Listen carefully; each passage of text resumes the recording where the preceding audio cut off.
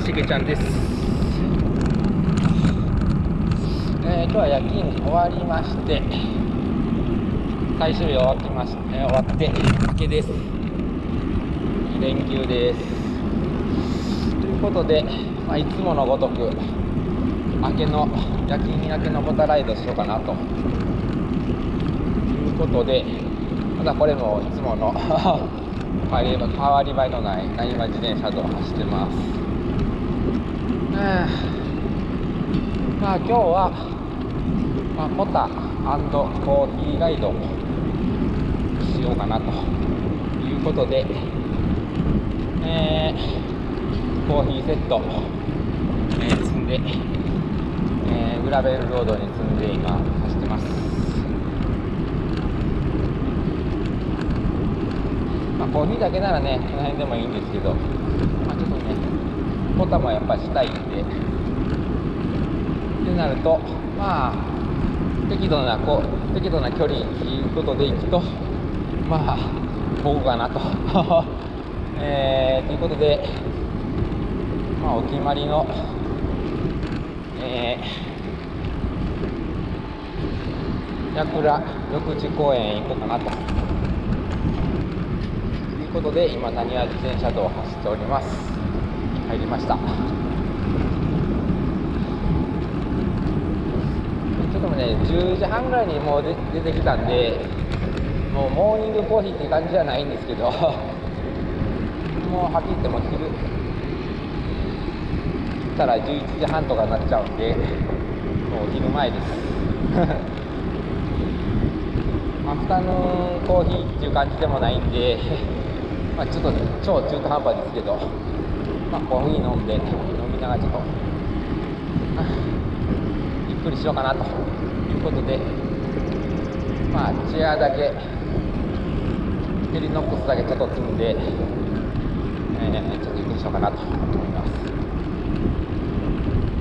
天気はですね、まあ、あまりいいことはないんですけど、まあ悪くもないですね。まあ雲多め。ちょっと降られそうな気もせんでもないんですけど、まあ山の方はちょっと晴れ間も見えてて、まあなんとか持つかなと。で明日はね、晴れそうなんで、そんな大崩れはしないかなと思ってます。まあ、一応曇り、曇りの天気予報なんですよ。2、30%の確率でしたけど、まあ、まあ大丈夫でしょう。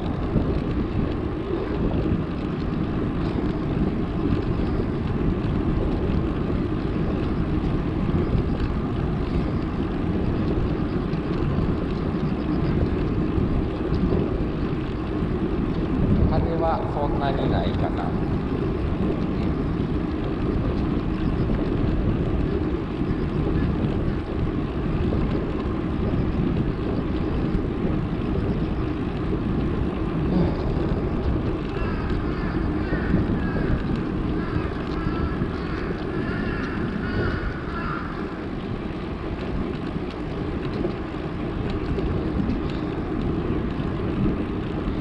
まあ、この風景はもう、ね、何度も上げてるので、あれなんですけど、まあ、とりあえず、初めだけでも、ということで、撮ってますけど、えー、この間アップしましたけど、カメラね、あったんですよね。インスタ360 1X2 買ったんですけど、まだちょっとセッティングしてなくてですね、開封してあるままで、まだ使える状態じゃないのでまだなんとか GoPro で今撮ってます。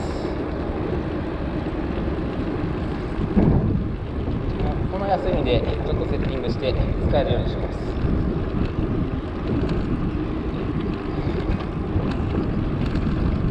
まあ仕事中はなかなか何もやる気がしなくてぼーっとしてるんですよね。寝るわけ。寝てるわけでもないしで何するわけでもないんですけど結構無駄なこうまあほんまに休んでるだけなんですけどね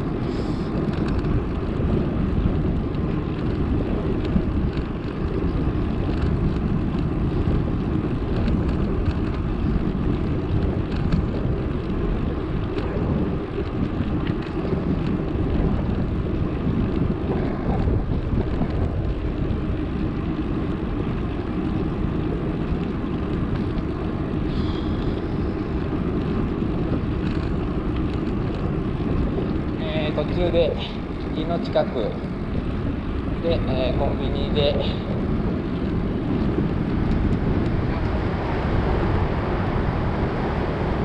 まあ一応クリームパンと。水と。まあちょっと喉乾いたんで。えー、ちょっと、えー、スポーツ飲料をちょっと飲んで出てきましたで今日はですね、えー、リアのキャリアにキャリアバッグつけてでそこにコーヒーのセットつけてます。で食材は、えー、水と水とパンはえー、サイドポケットをマニア風にして、えー、今入れてます。マニアバッグも欲しいの早く買わなあかんな。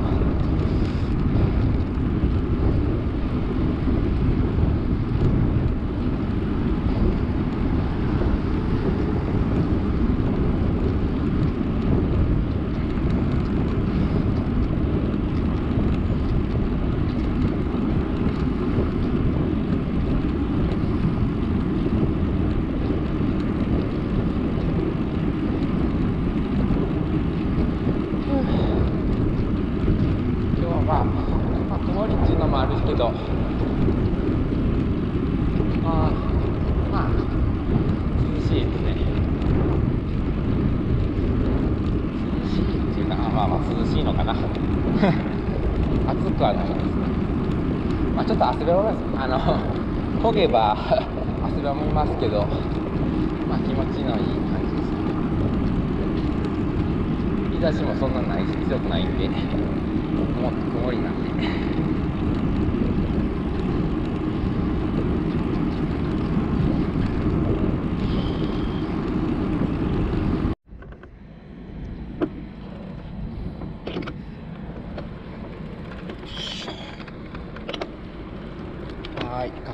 ました。もうすぐそこです。正面は淀川対岸ですね。は、えーえー、舞舞島ですね、えー、スラッジセンターも見えます。南には、えー、北根のトレードセンターかな。高いですね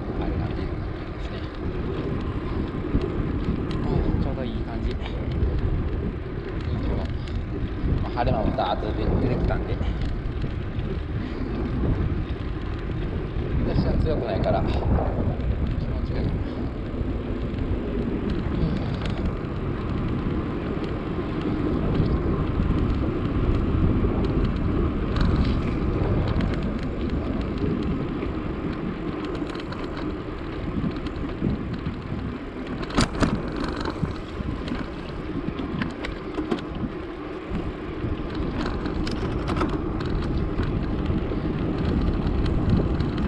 前回やったとこでやります公園内には入らずこの手前の芝生みたいなところでやろうかなと。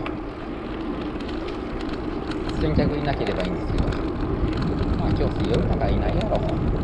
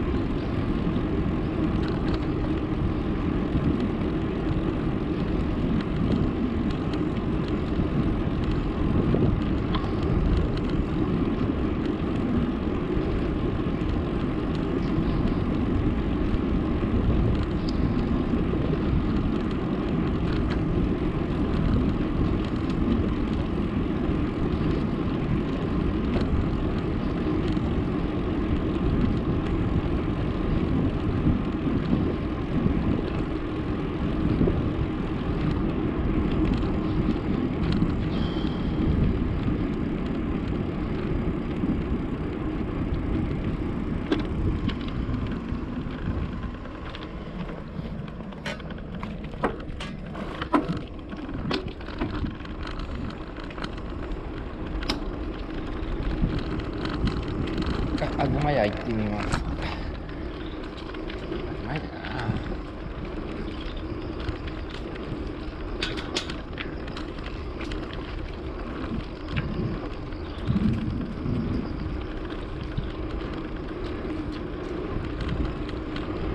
草買ってねえなここ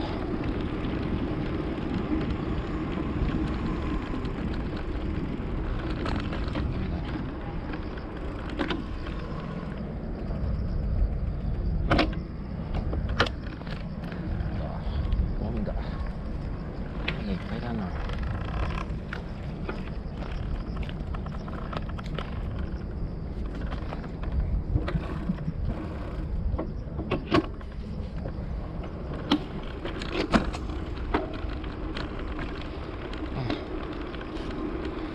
先着いたのでな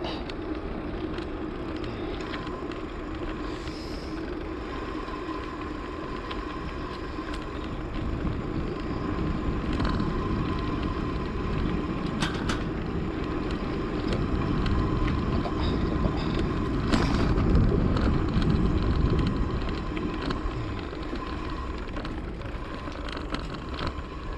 ょっと自転車行けますあ一応いけますよ。これカタカタ道。やまあまあこんな感じですけどね。はい。上に東屋があるんでそこぐらい。までありがとう。はい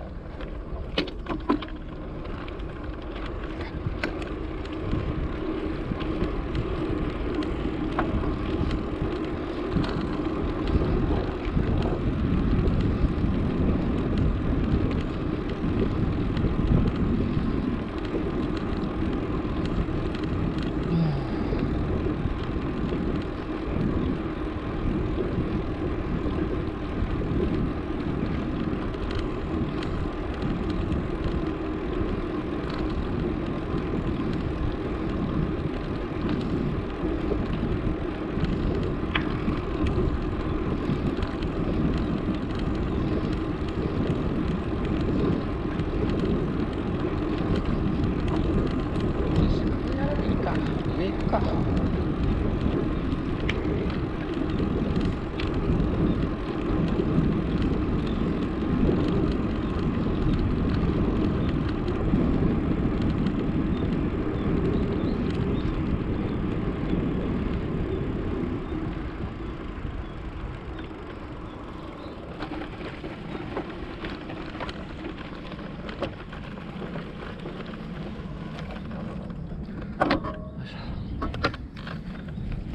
失礼します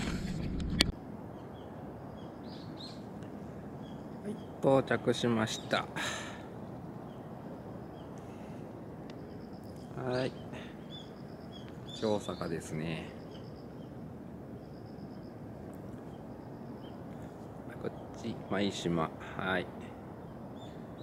です河口です。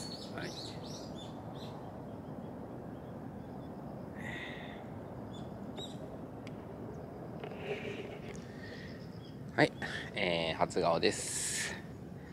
はい、今変わらず、えー、2週間ぶりぐらいかな、3週間、2週間ぶりぐらいかな。また同じところで来ました。はい、えー、矢倉緑地公園ちょっと公園の中には入ってないですけどその手前のところでやろうかなと思いますちょっとやえ公園内はねちょっと草がもう伸び放題でちょっとできそうになかったので、まあ、ここですねここは草刈ってましたんでここでやります。はい。ちょっと日差しが強くなってきたな。暑い。はい。もうあれなせっかくなんで早速やります。コーヒーライド。なんでコーヒー飲みますね。準備します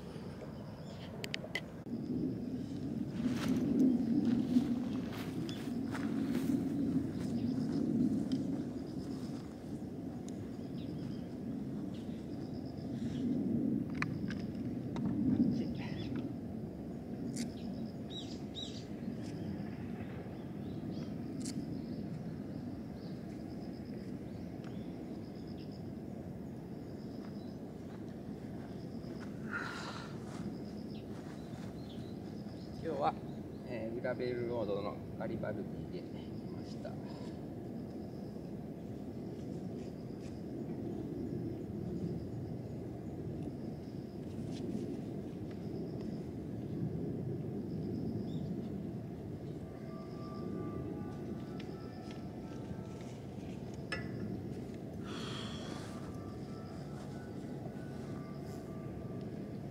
ちょっと低くね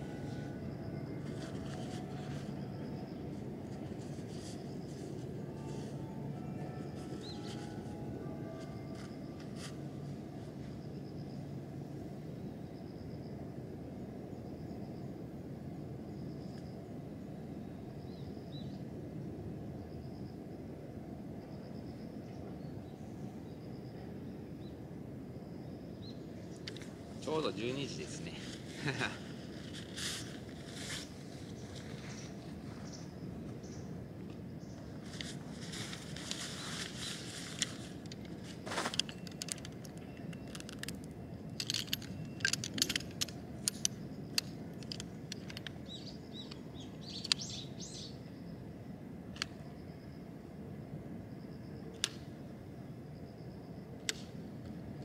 お腹すいたお腹すいたなよ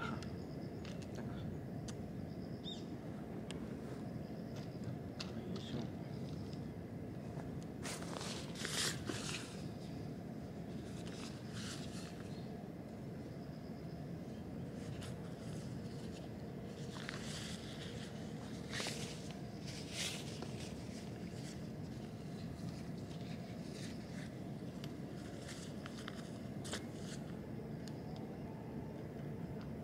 なんかこの間と全く同じ感じになってきた。すごい日差しが。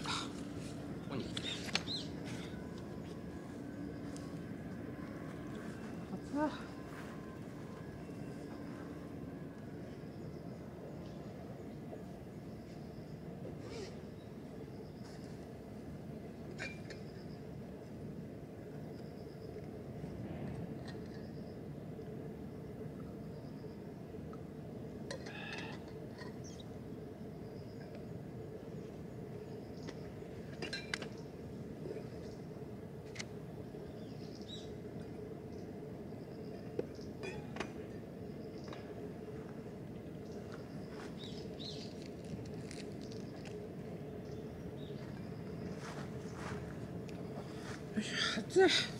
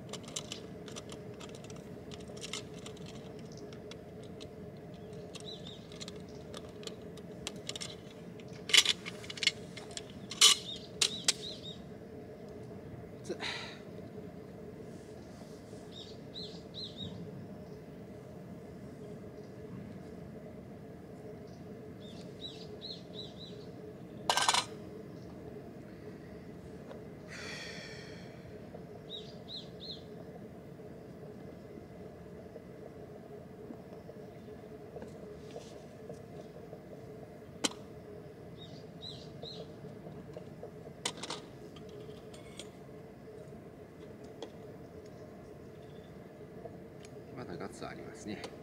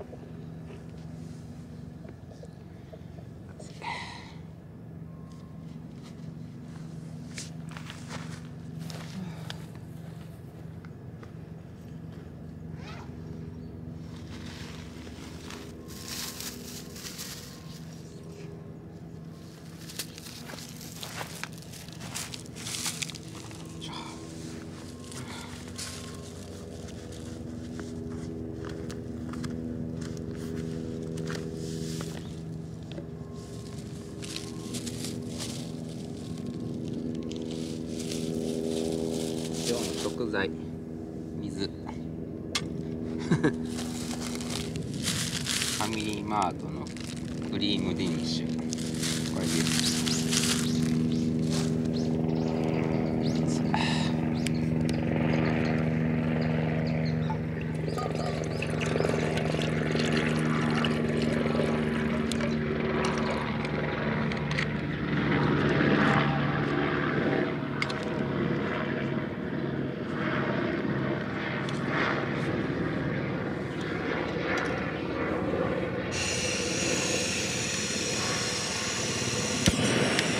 はいや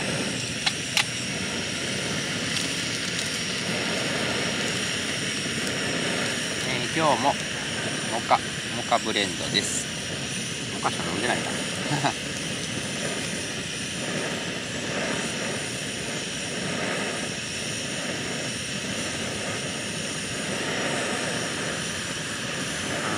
コーヒーミル買おうかな。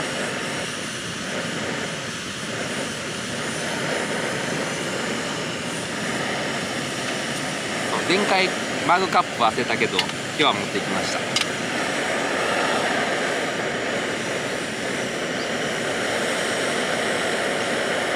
それ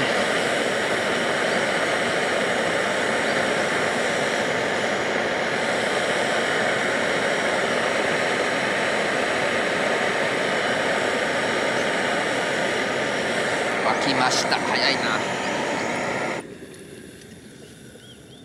い。はい。沸きたんで。でジェットボイルは早いですねよいしょ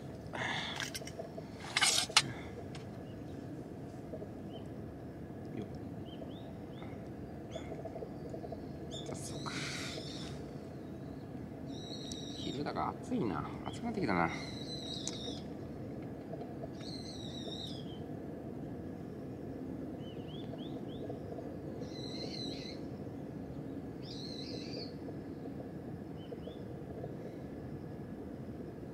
やっとホットコーヒーがホットコーヒー飲もうっていう気分になってくるあの時期でしたね。時期になってきた、う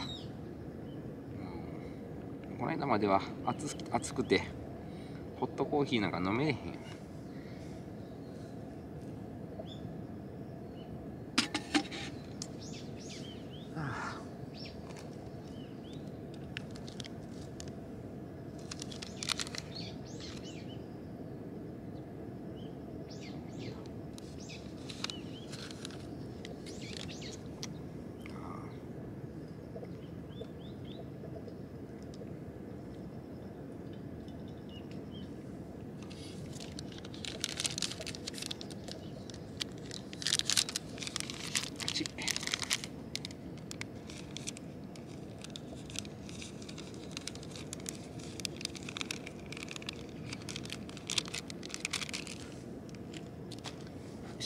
きました。よいしょ。よいしょ。あーよいしょじゃはい。入りました。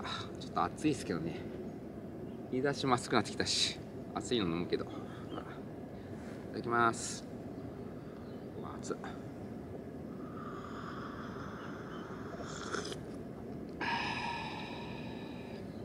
まあうまいなうまい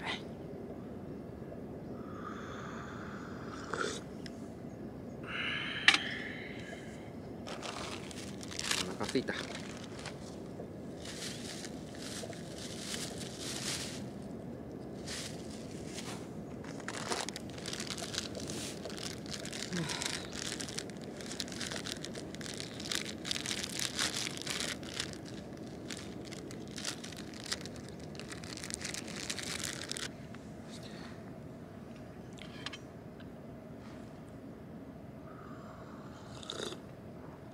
ロードバイク歴何年ですかっていうコメントをいただきました。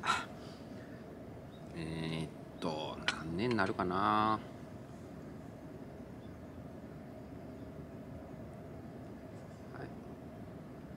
今ハマってるのがハマりだしたのは何年かな？10年。ロードバイクでハマハマったのはまあ78年かなうん、本格的にやってたのは78年ぐらいになりますかね。はい。その前から自転車興味あったんでほんともっと20年30年ぐらい前から30年、うん、30年は言い過ぎか。20年ぐらい前にオリジナルバイクショップのオリジナルバイクが買いましたね。あんまりすぐ乗らなくなっちゃったけどでマウンテンは結構乗ってましたね。1台乗ってそれは結構いじりましたね。自分なりに。うん。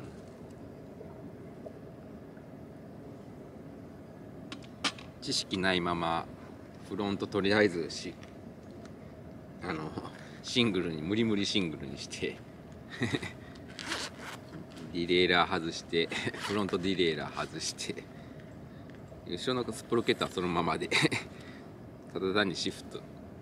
インナーギアとフロントディレイラーフロントディレイラーとフロントのシフター外して軽くしてでまあホイールも変えてタイヤも細い結構まあ街乗り用でスリックタイヤにして細いタイヤで乗ってましたけどね。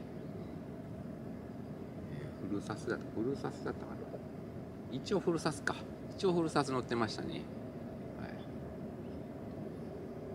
い。でロードバイクはその78年かな。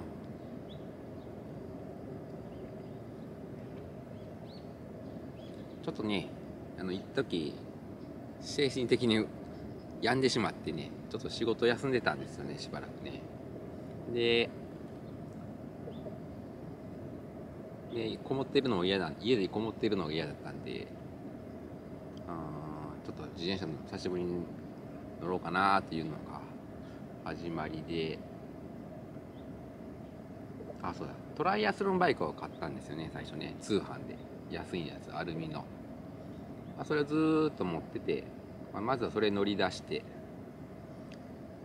たらこのジャイアントの、えープロペル買ってそこからもう本格的にはまりましたね。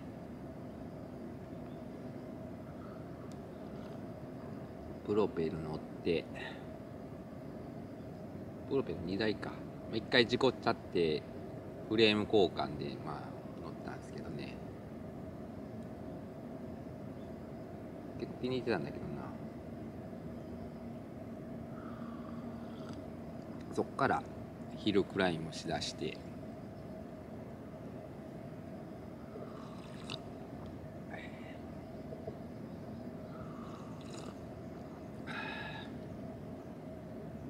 その当時はねあの群馬県にいたんですよね仕事の都合で。まあちょっと転勤ちょこちょこしてたんで334度転勤してたんでその時は群馬県にいたんですけど。群馬県の伊勢崎市に住んでました。はい。でなんで近くに赤城山とか榛名山があったんでそこの割と全国的には有名なヒルクライムレースがその2つあるんでそれハマりましたね。はい。どちらも2回2台2回ほど出ましたね。2回2回。多分確か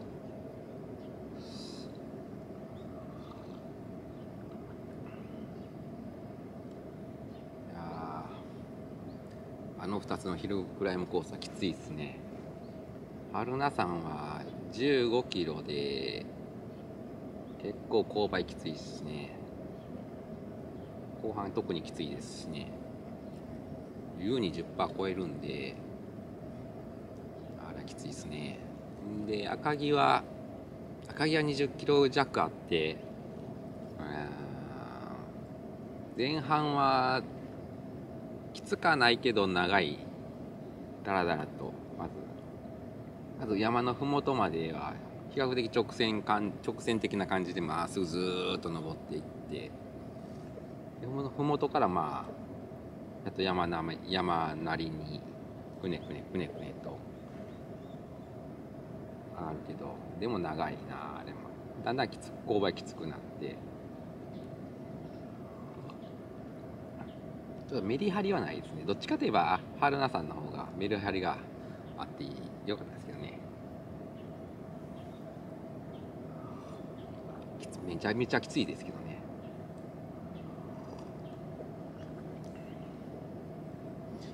今ちょっと今登れないな。今のこの 足のレベルではだいぶなまっちゃってるんで。多分めちゃくちゃ足つくと思うな春名山で何分だったかな？1時間。1時間10分切ったかな？切ってなかったかな？ちょっと覚えてないですけど。赤城は、ね、ハイスで1時間半とかかな？1時間とかかな？僕何分と思ったかな？1時間。1時間40分とか45分とかかな？30分？な40分切り1時間40分切りとかそんなそんな感じだった。らすごい長いんですよね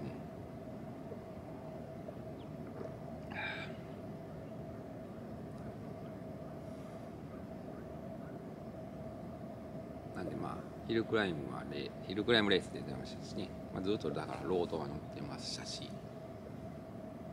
TT バイクも買って今持ってますしちょっと今ねちょっと YouTube で上げてないですけどまあ持ってるんですよね。最近ちょっと乗ってないですけど。えー、ねトライアスロンしたくてね出た出なかったんですけど結構練習はしてましたよ。であのランニングしたりスイムもたまに行ったりとか。バイクはバイクは当然乗ってましたしね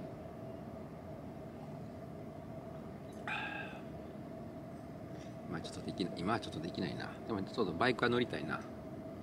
だいぶ半年眠ってますもんね。せっかくいい高いバイク買ったの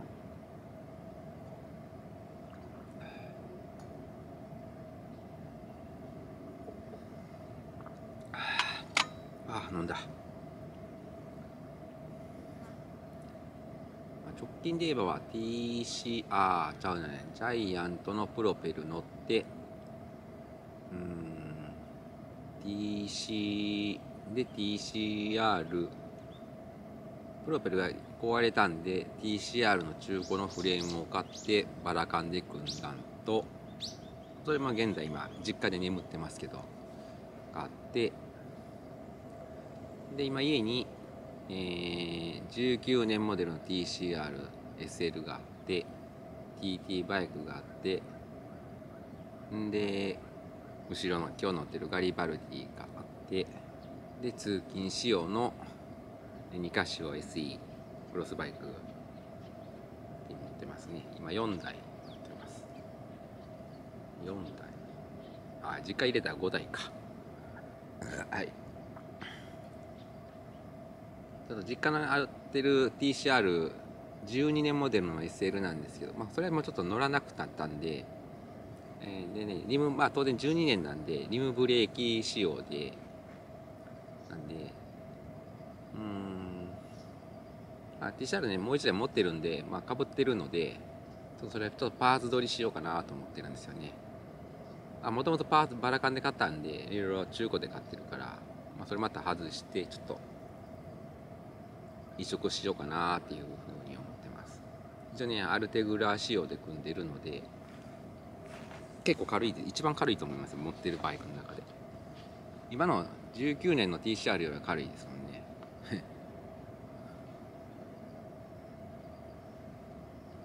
まあ DI2 っていうのもありますけどね。重いのはね。SL だから SL その12年と19年両方とも SL 持ってるんですよね。どちらも軽いですよ。TCR いいっすよ。ジャイアンジャイアント好きなんで。こ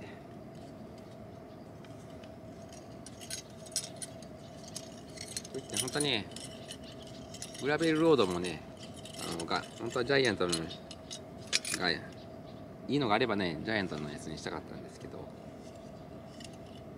アルミアルミのグラベルロードはちょっとコンポがにいまいちだったんで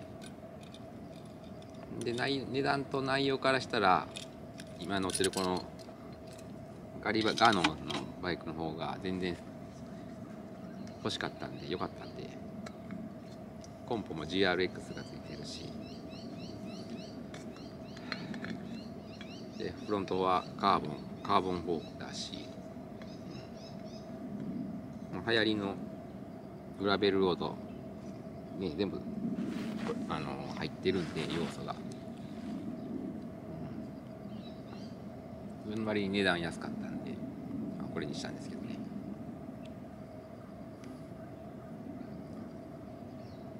で今日って今今日みたいにえーまあ、今日はまあそんなつけてないですけどねあのキャリアつけてたりとかバイクパッキングするのにねダブ穴とかなんでちょっとジャイアントのねあまりついてなくて、まあ、それも考えたらちょっとねこっちらの方が良かったんですよね、まあ、ただ単に走るだけなら別に良かったんですけどねジャイアントのアルミのグラベルロードでも。カーボンはねちょっとやめようと思ったんですよ。ちょっとやっぱりね、グラベル走りたいんで、ちょっとカーボンはちょっと心配だなと思って。なんかフレーム気に気にしながら走るなんて嫌やしなと思って、アルミならガンガンいけるなと思って。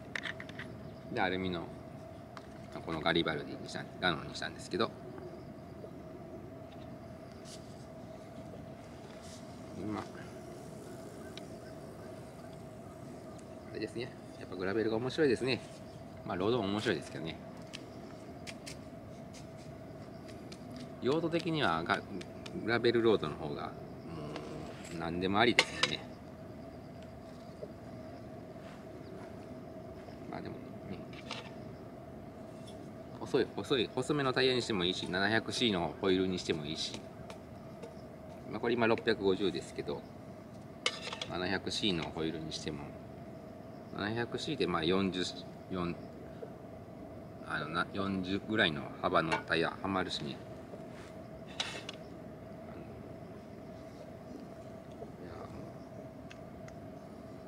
超オールマイティーなバイクですね。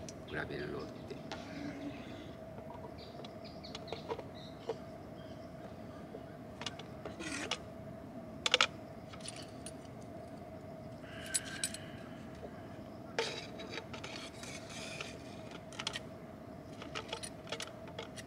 まあでもね、まあ、ちょっと重いのが重いのが難点ですけどね。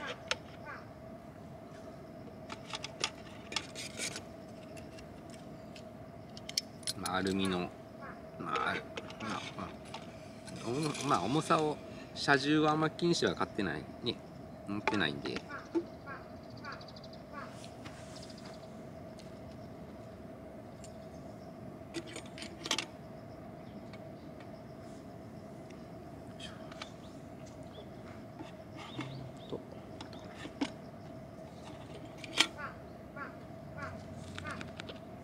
家で洗わなかった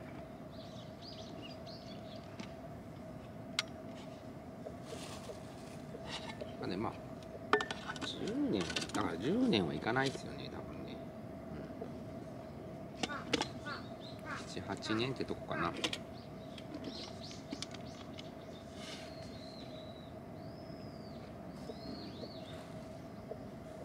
趣味でハマった中では一番ですね。はい。まあ他でハマったんなかったかな。他はねハマったハマったことってなんだろうなまあでもスポーツは好きだったんでスポーツ系はやりますけど。まあね自転車はね機材があるからね高いですよね。もうピンからキリまで自転車があるし。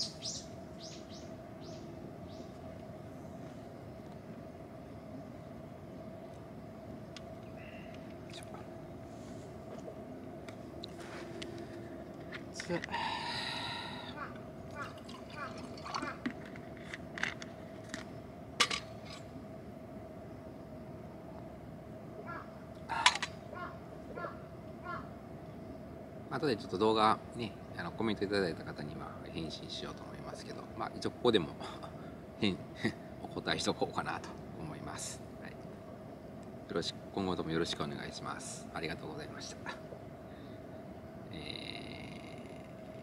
ー、乗ってられるんですかね？もし乗ってられるんでしたらね、えーもし何かの時があればね一緒に走りたいなって気はしますけど。どちらにお住まいなのかちょっと分かんないですけど。ほほぼほぼ最近は、えー地元に戻ってきて単身先から戻ってきてからほぼほぼ一人でししか走ってないな。グループライドはしてないな。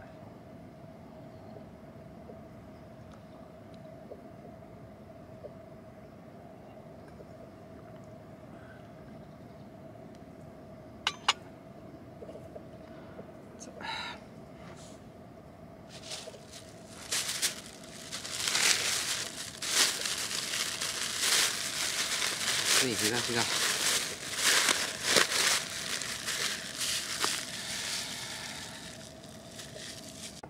バッテリーが切れたってモモバイルバッテリーつないでます。はい。ということでちょっと日差しがなくなってきたんであちょっと落ち着いたはいえーなんか疲れた顔がはいじゃあそろそろ。コーヒーも飲んだし。お昼回っちゃったんでお腹も空いたし。また20キロちょっと走って。帰ろうかな。はい。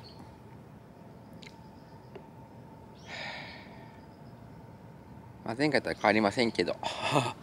はい。同じ同じところでコーヒーライトだけしました。はい。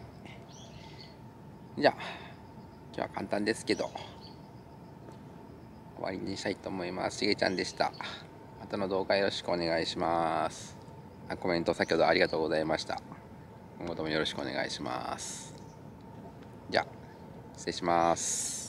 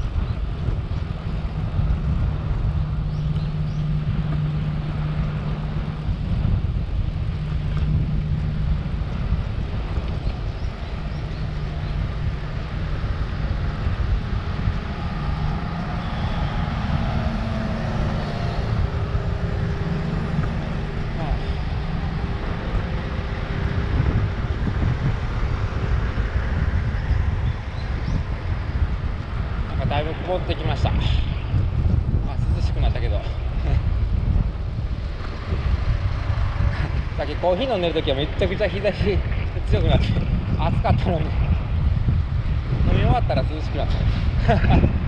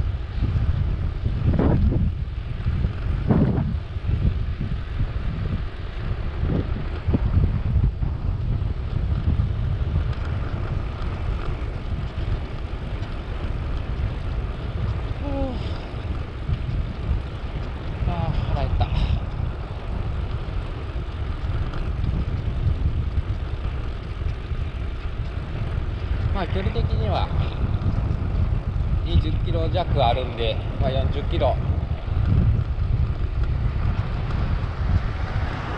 まあオーバーしてるんでまあまあポタポタにしてはいいんじゃないかな。いい距離です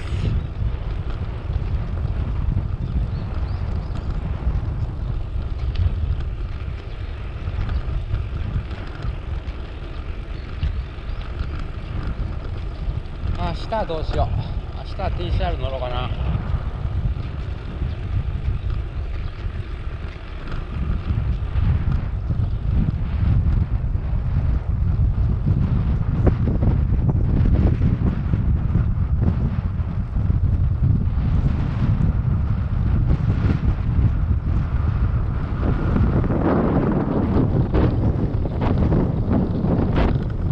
ちょっと向かい風になってきたな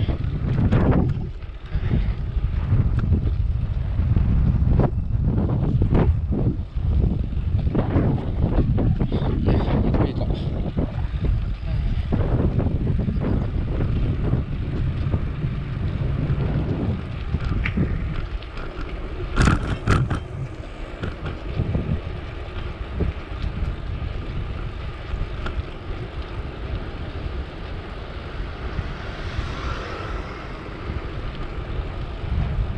おーつい